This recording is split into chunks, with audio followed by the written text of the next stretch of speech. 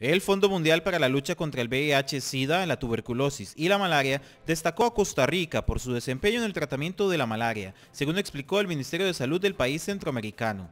Este reconocimiento es parte de la iniciativa conocida como Eliminación de la Malaria en Mesoamérica y la Isla Española, EMIE por sus siglas, que es financiada por el Fondo Mundial por medio del modelo de fondos de recompensa, mediante el cual los ministerios de salud logran los objetivos de erradicar la enfermedad.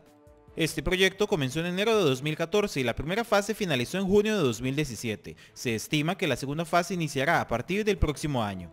Costa Rica asumió el reto de acoger las recomendaciones propuestas por la Organización Panamericana de la Salud y la Organización Mundial de la Salud y eliminar la malaria. En 2015, Costa Rica lanzó el Plan de Eliminación de la Malaria en Costa Rica 2015-2020, cuyos objetivos son suprimir la transmisión de la enfermedad para el 2020 mediante la vigilancia epidemiológica, vigilancia basada en laboratorio, manejo integrado de vectores, comunicación social y participación social, atención médica y manejo de ambiente.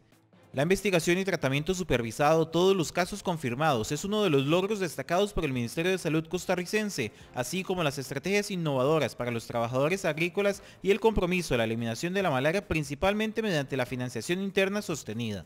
Según datos oficiales desde 2012, Costa Rica no presentó casos de transmisión autóctona de malaria. Sin embargo, en 2017 ya se han contabilizado al menos cuatro casos en la provincia de Limón, tres en Heredia y dos en la provincia de Alajuela.